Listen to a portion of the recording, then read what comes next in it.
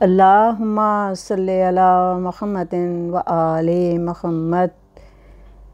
मेरे मौला इमाम अली रज़ा अलैहिस्सलाम के अयाम हैं और मेरे मौला के कई लक़ब हैं जिनमें से आपको जामिन आहू भी कहा जाता है, आपको गरीबुलगुरबा भी कहा जाता है। मेरे मौला इमाम अली रज़ा अलैहिस्सलाम का इमाम जामिन सब जानते हैं। कि क्यों बांधा जाता है? क्योंकि बहुत से लोग ये समझते हैं कि इमाम जामिन या इमाम जामिन जो हम बांधते हैं, वो इमाम ज़माना के लिए के लिए बांधते हैं कि वो हमारी हिफाजत करेंगे। लेकिन ये ज़माने के लिए नहीं है, बल्कि ये इमाम जामिन जो आप बांधते हैं, ये ज़मानत के लिए है। इसका मतलब ये है कि आपने अब अपना जामिन चुन लिया है और वो हमारे आठवें इमाम हैं। अब सवाल ये पैदा होता है कि हरे रंग का ही हम क्यों इमाम जामिन बांधते हैं? जब हरम में जाते हैं तो हरे रंग की ही आपको हरम में चादर मिलती है। और हरे रंग का ही इमाम जामिन होता है। हरे रंग का क्यों होता है? इसलिए होता है कि मेरे मौला इमाम रज़ा अलैहिस्सलाम को हरा रंग बहुत पसंद था। आपने एक हिरनी को पनाह दी थी, इसलिए और ज़मानत ली थी। आपको इमाम जामिन कहा जाता है। आपको, हम जितनी भी आपकी सिफ़ात और कमालात बयान करें, वो कम हैं। लेकिन ईरान में हर साल ये एक तकरीब मनाई जाती है कि जब आपकी विलादत के दिन होते हैं तो जो लोग क़ैद में होते हैं, उनको कुछ लोगों को रिहाई दी जाती है। और ये कहा जाता है कि इनके जामिन अब इमाम अली रज़ा अलैहिस्सलाम हैं। और ये हर साल होता है कि इमाम जामिन अली रज़ा की विलादत के मौके पर ईरान में काबिल माफ़ी जराइम में मुलविस कुछ मुजरमों को जेल से आज़ाद किया जाता है। लेकिन इस साल जेल से रिहाई देने के लिए एक अजीब तरीक़ा आजमाया गया और वो ये कि जेल में जो लोग कैद थे, वहाँ पर स्पीकर पर जेल में अचानक सुबह के वक्त फजर की नमाज़ के बाद एक ऐलान होना शुरू हो गया। और वो ऐलान ये था कि जो भी मुजरिम हैं, उन सबको दफ्तर में बुलाया जाता है कि वो सब हाज़िर हों। और फिर ये अफराद जेल के मरकज़ी दफ्तर में हाज़िर हो जाएँ और वहाँ इन इनसे कोई ज़रूरी काम है।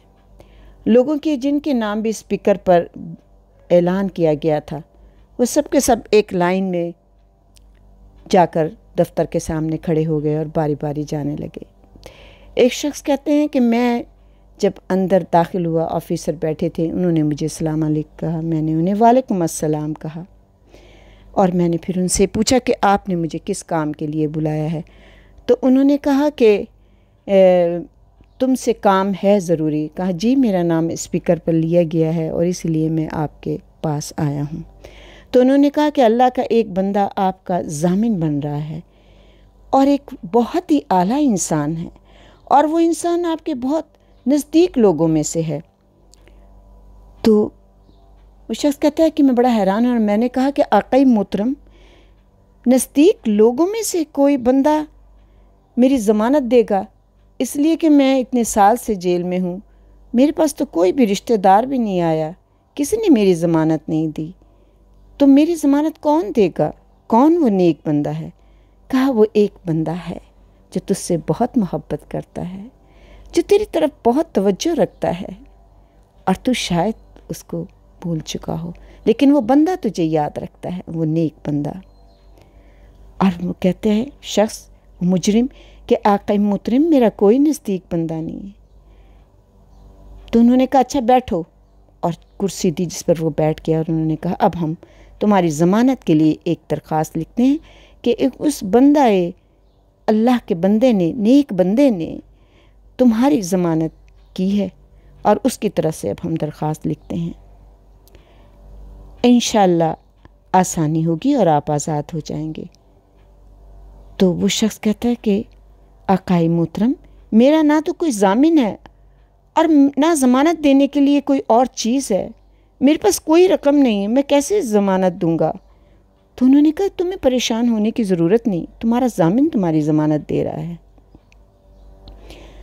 अच्छा ये बताओ कि तुमने जुर्म क्यों किया था? तो उस शख्स की आँखों में आँसू आ गए, उस मुजरिम की आँखों में आँसू आ गए और रोते हुए कहने लगा, आप जानते हैं कि मेरे दो बच्चे हैं और मेरा बेटा बड़ा है और वो बीमार है। मैं बड़ी इज़्ज़त के साथ ज़िंदगी बसर कर रहा था, लेकिन हालात कुछ ऐसे हो गए थे कि मेरा गुजारा नहीं हो रहा था। और मैं जितनी भी मेहनत मजदूरी करता था, मेरे घर का ख़र्चा नहीं चल रहा था तो मुझे मजबूरन चोरी करनी पड़ी। मैं मैं चोरी करना नहीं चाहता था, लेकिन मैं मजबूर हो गया था। तो वो शख्स कहते हैं कि ठीक है, तुमने अपना इकरार जुर्म कर लिया है और तुमने अपनी वजह भी बता दी है कि जिस वजह से तुमने चोरी की थी। और उसके बाद उन्होंने अपनी ज़मानत की दरख्वास्त पूरी मुकम्मल की और फिर ज़मानत का कागज़ इसकी तरफ़ बढ़ा के कहा यहाँ पर आप दस्तखत करें। वो शख्स, वो मुजरम कहता है, ये तो बता दें कि किसने हमारी ज़मानत की है? वो अभी कोई जवाब नहीं दे पाया था ऑफिसर के इतने में फ़ोन पर कोई कॉल आई, उन्होंने उठाया, अस्सलाम वालेकुम वरहमतुल्लाहि वबरकातुहू। और दूसरे, जो दूसरी तरफ़ फ़ोन पे इंसान था, उससे बात करने लगे। तो कहा कि हाँ उस ऑफिसर ने कहा हाँ वो बंदा जिसकी आपने ज़मानत दी है, वो दफ्तर में मेरे सामने बैठा है और आपका इंतज़ार कर रहा है कि कौन सा नेक बंदा है कि जिसने मेरी ज़मानत दी है कि इस वक्त दुनिया में कोई मेरा जामिन नहीं है और वो मेरी ज़मानत दे रहे हैं। उसने कहा, ये बिल्कुल सामने बैठे हैं और बहुत बेकरार हैं आपसे मिलने के लिए। ये बातें करने के बाद उन्होंने फ़ोन बंद किया और कहा कि वो नेक बंदा आपसे मुलाकात के लिए आया ही जाता है। ये बहुत बेताबाना अंदाज में दरवाज़े की तरफ़ देख रहा था कि वो कौन सा ऐसा नेक बंदा है, अल्लाह का नेक तरीन बंदा है। वो कौन सा आला इंसान है जो इस गुर्बत में, इस परेशानी में, इस तकलीफ़ में, इस कैद में मेरी मदद करने वाला है? कि इतने साल से मैं कैद में हूँ, किसी ने मेरी मदद नहीं की? किसी ने मुझे छुड़ाने की कोशिश नहीं की? और वो दिल ही दिल में सोच रहा था कि वो नेक बंदा जैसे ही आएगा, मैं उसके कदमों में गिर पड़ूँगा, उसके हाथों के बोसे लूँगा। कि इतने में दरवाज़ा खुला और वो ऑफिसर जो था वो खड़ा हो गया उसने कहा कि वो आ गए हैं। दरवाज़ा खुला। वो बेताब है कि मैं उस बंदे से मिलूँगा। तो क्या देखता है कि दो मौला के खिदमत गुजार उस कमरे में, उस ऑफ़िस में, उस दफ्तर में दाखिल हुए और उनके पास मेरे मौला की वो सनत थी, जिसको वो उठा कर लेकर आ रहे थे। उस शख्स ने जैसे ही देखा, उस मुजरिम ने ये देखा कि वो मौला की लेकर आ रहे हैं इस तरह वो एकदम आगे बढ़ा और मेरे मौला की इस निशानी को चूमने लगा और रोने लगा और ज़ार कतार रोता जा रहा था और कहता जा रहा था, मैं आपकी गुर्बत पर कुर्बान, मेरे मौला मेरे मौला इमाम ज़ामिन, मेरे मौला आपने मेरी ज़मानत दी है, मेरे मौला मैं आपका मुजरिम मेरे मौला मुझसे गलती हुई है। मेरे गरीब मौला, आपने मेरी ज़मानत दी है। रोता जा रहा था, तड़पता जा रहा था और कहता जा रहा था, मौला रज़ा, आपने मेरी ज़मानत दी है। आपने मुझ मुजरिम को इस वक्त इस जेल से रिहाई दिलवाई है।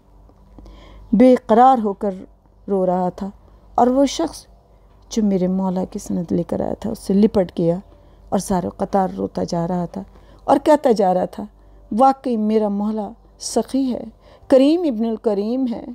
ये वाकई सैदा का लाल है। ये इब्न रसूल अल्लाह है।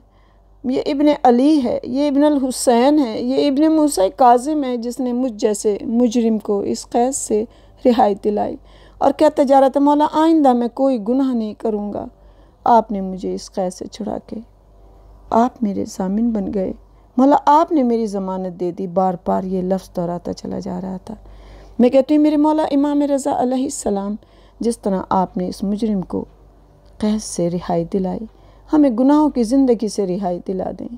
मेरे मौला हमारे गुनाह कबीरा और सगीरा को माफ़ कर दें इस वक्त के सदक़े में। मेरे मौला हमारी कब्र में ज़रूर तशरीफ़ लेकर आइएगा। आपको आपकी जद्दा फ़ातिमा तो ज़रा सईदमीन का वास्ता। ए मेरे मौला जो मोमिन और मोमिनत इस दुनिया से चले गए उनके गुनाह कबीरा और सगीरा को माफ़ कर दे, उनकी कब्रों को नूर मोहम्मद से मनवर कर दे। ए मेरे मौला, चुपे औलाद हैं, आज के दिन के सदक़े में मेरे मौला उन्हें औलाद अता करें। ए मेरे मौला, जो बेरोज़गार हैं, उनको रोज़गार अता करें, जो बीमार हैं, उनको सेहत कुल्ली अता करें। ए मेरे मौला, आप दिलों की हाजतों को जानने वाले हैं, जो परेशान हाल। ऐसे लोग हैं, जिनकी ज़ुबानों पर अपनी ख्वाहिश नहीं आती, मगर आप तो दिलों का हाल जानते हैं। मेरे मौला हर एक की परेशानियों को दूर कर दे, गम व तकलीफ़ों को दूर कर। दस्त गैब से रिस्क अता कर, किसी का मोहताज न कर सिवाए अपने रोज़ मैशर। मेरे मौला हमें, मेरे मौला रसूल अल्लाह सल्लल्लाहु अलैहि वसल्लम के अलम के साय में जगह मिले। मेरे मौला अली अली सलाम के अलम के साय में जगह मिले और मेरी बीबी फ़ातिमा की चादर के साय में जगह मिले। ए मेरे मौला, हमारे गुनाह कबीरा और सगीरा को माफ़ कर देना और इस ज़िक्र को कबूल कर लेना। अल्लाहुम्मा सल्ली अला मुहम्मद व आल मुहम्मद। अल्लाहुम्मा सल्ली अला मुहम्मद व आल